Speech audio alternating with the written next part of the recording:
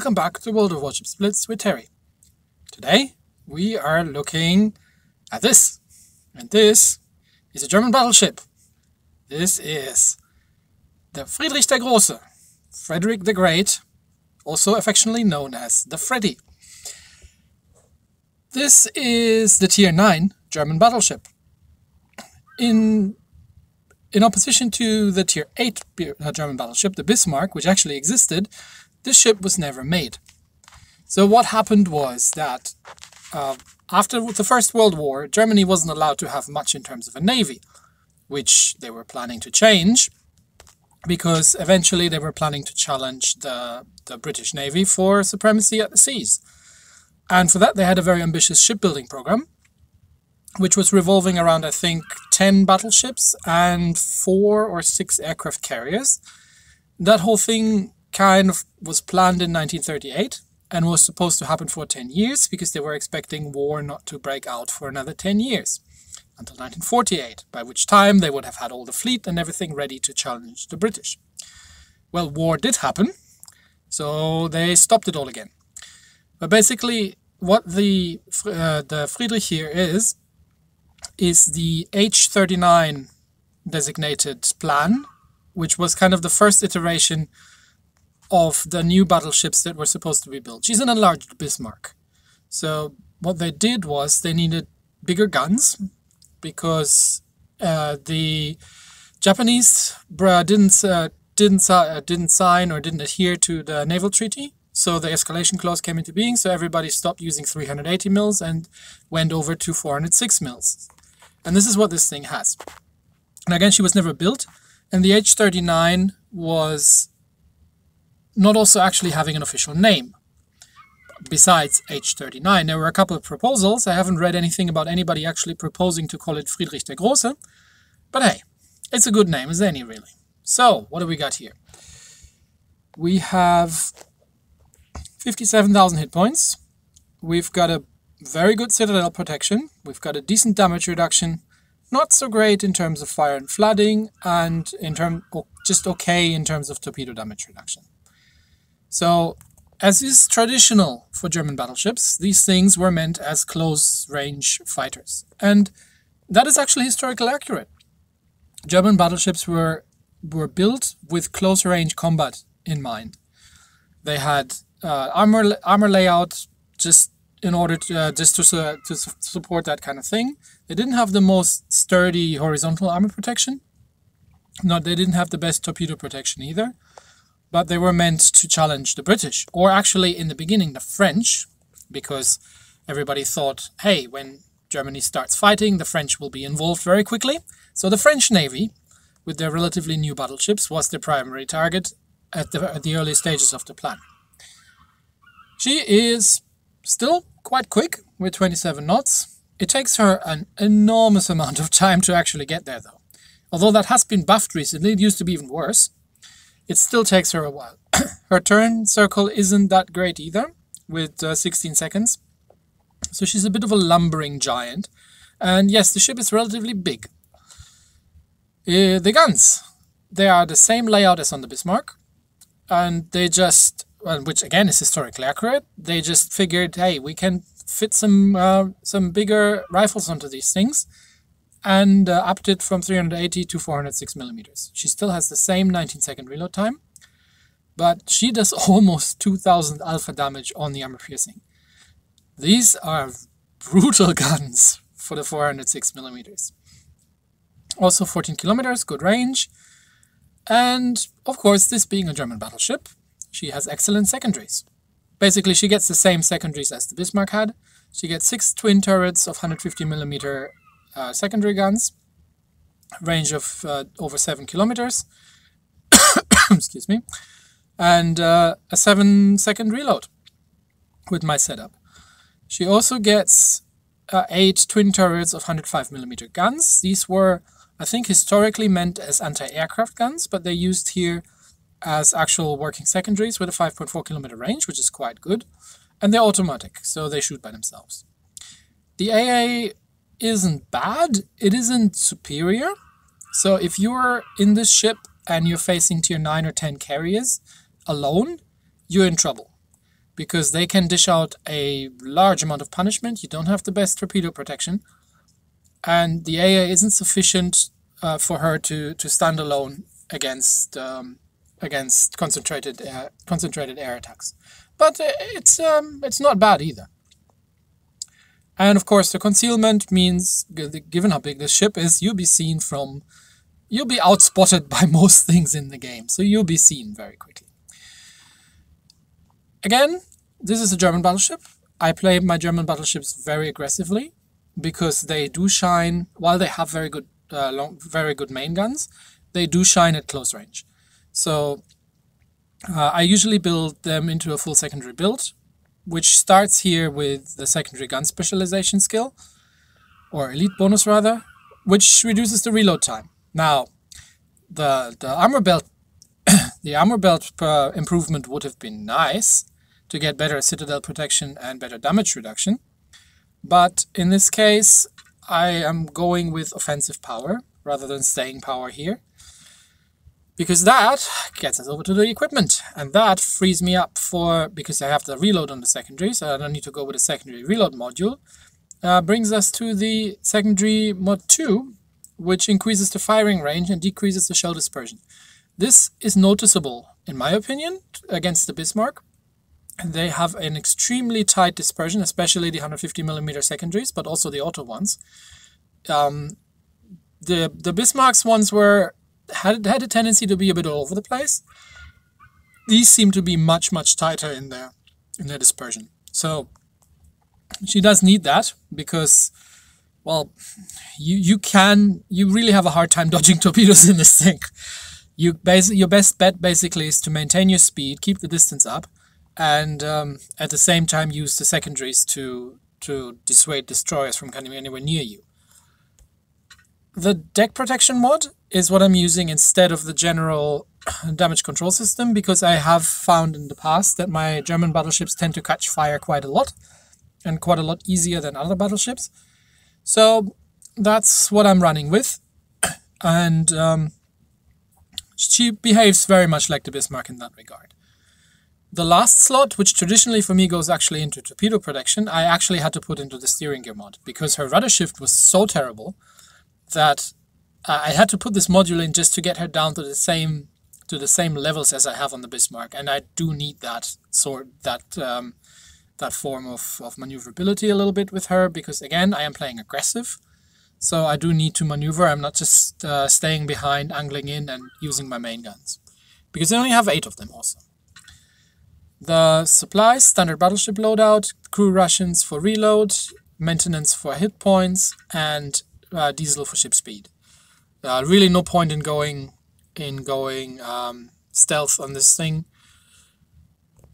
And the commander is our Franz von Hipper, our legendary commander, moving on from the Bismarck. He still has the, the same he still has the same set. We've got the underwater protection. So if you haven't seen it on on the Bismarck, he has the underwater protection. He actually does not have the torpedo alert because he gets the um, improved armament repair expert. And this is quite useful because your secondaries have are relatively poorly armored and relatively exposed. So when you're getting shot at by battleships, your secondaries tend to suffer very quickly, which makes this actually quite useful. The also again she has sonar and there's a there's a sonar skill we get to in a minute. Uh, other than that, the artillery maintenance which means I'm not getting the high alert for damage control cooldown. I'm using Sixth Sense, obviously, because that's a really, really useful skill, which also means I don't get the Victorious Charge.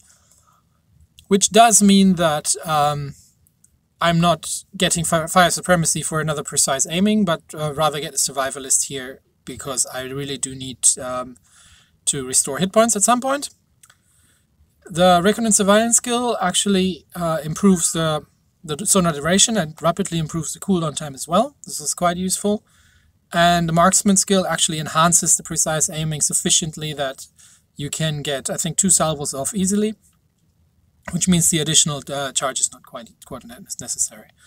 What I'm really looking forward to is the close combat expert, because again, she makes the secondaries secondaries dispersion even better, and the uh, armor piercing cap shell, which is again improved over the regular one. So this is stuff that I'm really looking forward to, but we're not quite there yet. We'll get there. Um, currently, I'm running the I'm currently running the Seaborn Assault camo, and I have found that I get focused less in that thing, which which is kind of weird. But um, I used I used to go with the Red Alert or the Sea Storm, and for some reason I just get focused a lot more in this than I get in the Seaborn Assault. That might be coincidence, but um, who knows? Anyway, uh, so what is she like in the game? Well, let's play a couple of rounds and I'll show you. Okay, heaps of destroyers again. Uh, this has been a bit of a theme today. It's like uh, you get three, four destroyers every single battle. We're bottom tier, Monty, Yama, Izumo, and then double Shima, and well, at least it's two bot destroyers, so we don't have to worry about that too much. But um, yeah, I've been I've been getting destroyers quite a lot lately, and it is really irritating. This is you can't um, at this tier, at like tier nine or ten you, you can't really easily um, operate alone. You're going to need support. And we don't have any cruisers, as usual. So this was already happening with the Bismarck, that more often than not I was actually chasing destroyers, because either the cruiser players weren't there, or they were doing other crap. So in this case, um, given that we have two bot destroyers and we have a Shima with us, I'm actually to venture... And we've got another... What battleships do we have? a Curry and a Monty. Okay. They seem to be wanting to stay behind, so I'm to follow up the Shima here. Uh, given that these two destroyers are in front of me, they're to scout at least, so I can turn out and turn over. Where, where are you going? okay, I'm detected. I am immediately targeted. I don't see anything, so it's probably a bot. Given that he switched target, yeah, that's a bot. There's the bot Shima. Uh, I've got nothing better to shoot at, so I might as well. I've got the armor piercing loaded, so it's not going to do a great amount of damage. But he's in secondary range. There we go, one pen. And the secondaries can pen him at this, at this range. So I'm to slow down here because, uh, yeah, there we get some, we get some opposition. There's the enemy Izumo. And uh, I don't want to run into a full defense of three battleships with destroyer support. So, do we get... Uh, oh, someone's pushing with us, okay. So I can tank for a while. So Izumo shooting high explosive at me. Oh, there comes some Yama shells. Okay, bounce them all off. Um, okay, double fire, not having that. Okay, that's the Izumo firing high explosive at me. Uh, he just took a beating. Okay. Uh, is that a bot over there? Yes, that's a bot. Izumo is giving me a nice broadside. So let's shred into her. And see if we can pull them around so our... Well, there's no support follow-up. Yep, he's definitely shooting high explosive at me. At this range, you'd want to shoot armor piercing, because otherwise you're dead. Now you see we lost one of our secondaries, but the auto secondaries are opening up now. Okay, so at this point, I'm gonna run the Hydro just to see if there's any torps inbound. And um, I think I've done enough tanking for now. Uh, Curry, your turn your top tier battleship, you go tank some. Because I'm down to 20,000 hit points and I've got a Shima chasing after me. Uh, problem is, how am I going to disengage from here? Because now I am basically just going to have to go this way. Oh, Shima is out. So I've got the Hydro still running, so if she's firing torpedoes I should see them. Um, the battleships are out of range. I just need to get the curry to... Come on, why are you why are you running away? You have to... I need you to tank for me. A little bit at least. I'm down to 13,000 hit points. Okay. Slow down. Turn the ship around. Yep, there come the torps. Okay. Now I might take one or two of those. Full on turn. That's one. That's two. Yeah, uh, seen that one coming. Okay, I'm gonna put her in reverse and see if I can get shot out at whatever that is back there. Because there are two Shimas guarding this flank. One or two. Maybe two. And uh, that's a bit much for my taste. Because I can't even see the torpedoes coming. And they're gonna see me coming from a mile away. So we can't push into this because of the amount of Shimas out here. I'm actually going to switch over to the high explosive because I don't think I'm going to get shots off at that battleship still. Um, and there he comes. Okay. Shimas don't have smokes as far as I'm I'm concerned, so let's see if we can make his life unpleasant. I mean, we're dead, right? There's a Shima. There's, I have no way of dodging this. I know that I'm dead. But maybe I can get him still? No, I can't get him anymore. No way in hell I could I could dodge that. See, that's the problem when you are when you are alone and you have no no cruiser cover or anything. But um, let's let's follow. Let's see what the what the uh, the other ships are doing. They're sailing around in the center somewhere, doing God knows what. So yeah, if you get rushed by say a Shima or a Fletcher, it would have been nice. You know, you, you're both two, you, you're all full health. It would have been nice if any one of you had done some tanking, you know? Or tried to chase some destroyers or something, you know? Um, yeah. you, you're not going to dodge torpedoes at, at this tier against uh, something like a Shimakaze. The torpedoes are fast. They're, they're going to drop you from close range. Um, the ships are just too sluggish to dodge. So you do need to kind of stick with your team for a little bit. I mean, we still won this, but you do need to, to stick with your team for a bit and um, make sure that you have some support because if you're standing alone against the DD, you're not going to be in a good uh, in a good place. So, what we did win this, and yeah, the the destroyers are ruling the upper tiers at the moment because I have not seen a single top tier cruiser today, and I've been playing a handful of battles.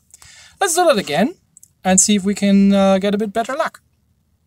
Okay, that's more bot heavy than I wanted. But look, there's a cruiser. I just said there was no cruisers and now we get cruisers galore. Okay, sure. I'll take it. Okay, given the amount of bots we can, and there are no destroyers around right now, we can actually take this more aggressively. But yes, uh, top tier, if you're high, uh, playing higher tier games, um, destroyers become an absolute nuisance when you're in a battleship. The battleships are, are less maneuverable than they are in lower tiers. The destroyers are better, and they hit much harder. So, um, you, if you're in a battleship, playing aggressively, like you have to in a German battleship to make them work, is, is really not something that's very easy.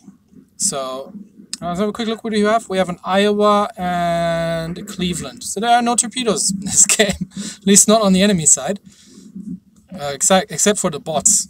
So um, we're gonna push into this aggressively. But yeah, um, if if if you get an aggressive game, oh, Cleveland's pushing. I'm surprised.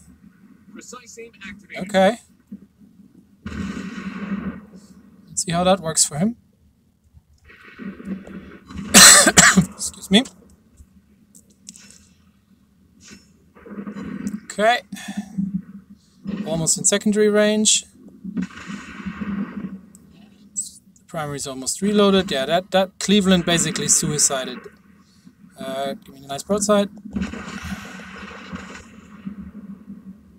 There we go. One more salvo should do it. And yes, the Wookiee takes him out. Okay, that's one player down. Well, there's the other one. Time to get stuck in, I'd say. There's the Iowa. There's a North Cal as well. Oh, there's a Takao too. Target-rich environment. Uh, no, Takao's moving out. Let's deal with the Iowa then. Before he mops up the Wichita over there. I spoke too soon. There are torpedoes. And it should run out, right? Yes, they do. Ha! All skill, no luck. I knew that would happen. Okay. Let's go after this Iowa. So you have to aim a bit higher with the secondaries, so you actually get the um, get the hits into the superstructure, or well, you actually have to hit, yes. But um, oh, that's the North Carolina. But I want to get rid of the. Uh, I want to get focus, focus the Iowa down. Yes, you have to hit a little bit higher, or to aim a little bit higher, because you see when when you hit the armor belt, you're not actually going to do much damage. Okay, the Iowa has noticed that I'm after him. So let's close the distance as much as we can, keep the ship angled. Ideally, be outflanking him, but um, he needs to die, and quickly because there are other ships around here. So at this distance, this is kind of an ideal distance for for uh, for the ship to, to operate in, because the the auto secondaries can set him on fire, and the main guns will do nice full penetrations. Let's heal up a little bit. But yeah, he's in he's in full full force on my on my uh, all my guns. There go the mains again, and that's that thing shredded. Okay. There's a Shokaku. Okay. Uh, excuse me while I'm turning my, my ship around. Uh, there's also a Takao. Okay, sorry Shokaku, you're gonna have to wait. Let's get every, everything to fire. That's a nice citadel on the Takao. I see turning. Okay. Now, yeah, you'll get your turn, Mr. Shokaku. Okay. Where are you going? Come back here, you. Okay, Ship turned around, even the secondaries can citadel him at this range. Now we just need a good, nice broadside. And then we can finish this up. Yeah, I'm not gonna damage con this. Because There's no way you're gonna escape me, my friend. Okay, it's turning back in again. aim further down. That's the auto secondaries firing. And that's it. And we've done 114,000 damage. Okay, um, well, we only shot at one bot. Uh, well, two bots, really, but, you know, she can, she can, um, she can stand her own in a close-range brawl against a Tier 9 American battleship without much problems. Um, her her auto secondaries are going to fire on both sides. So even if you're not actually facing something, the secondaries on the other side are automatically going to start opening up. So if we look at the amount of damage we've done, um, we've done almost as much damage with the auto secondaries as we have done with the with the, um, the 150 millimeter secondaries. All in all, 26,000 damage with secondary guns alone.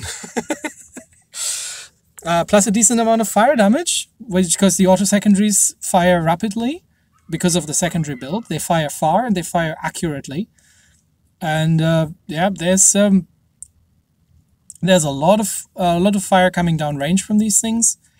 Plus, the primaries are hitting very very hard as well, and uh, having good pens, three citadels.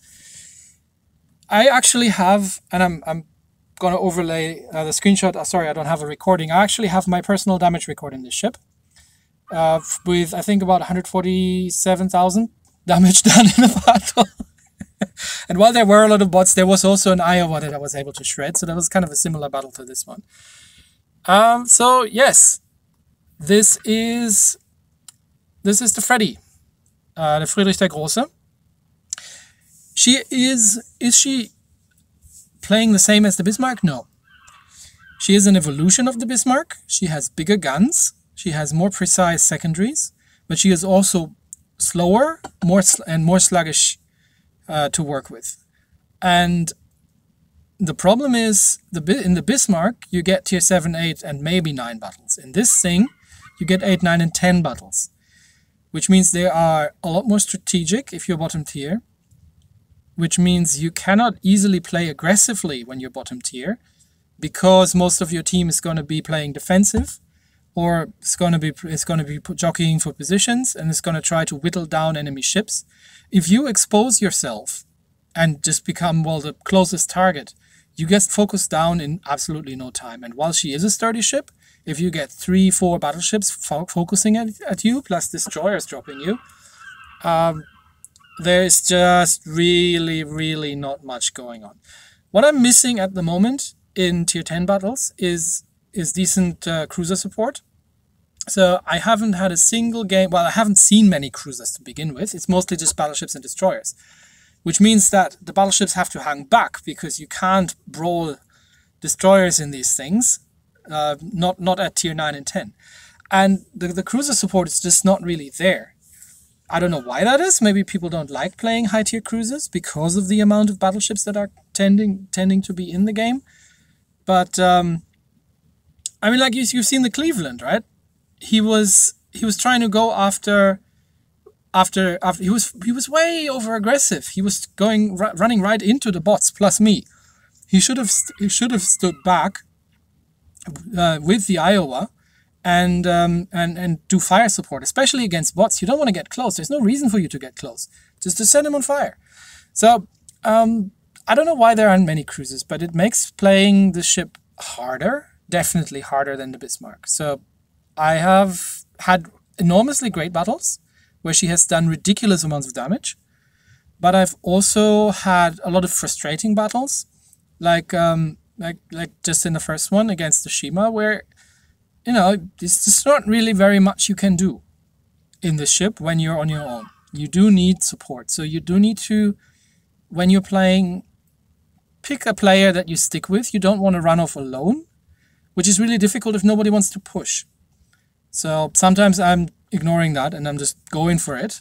And um, if I can, if I can outflank, she can she can do enormous amounts of damage but uh, it can also go sideways. So she is not an easy ship to play.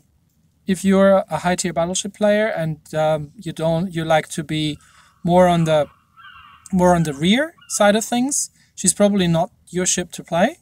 I would probably go more with the American uh, with the American battleships. She is very sturdy though, and if you meet anything French or Japanese, you can make their life very very unpleasant very very quickly. And like you've seen, she can even hold her own against an Iowa. Uh, so definitely a good ship. I'm enjoying her, and I'm going to keep playing her. But be aware that she's not as easy to play as, for example, the Bismarck. I think the Bismarck has has it easier just because of the lower tier and because of the less strategic uh, way things are played and because of the prevalence of cruisers at these lower tiers uh, compared to compared to high tier games. So that's the Freddy, Friedrich der Große, the hypothetical battleship that was meant to be part of the German Navy to challenge the British. That never came, never came to pass, but we still get to enjoy her in the game. That's it for today. Hope you all had fun, and I'll see you all next time. Bye.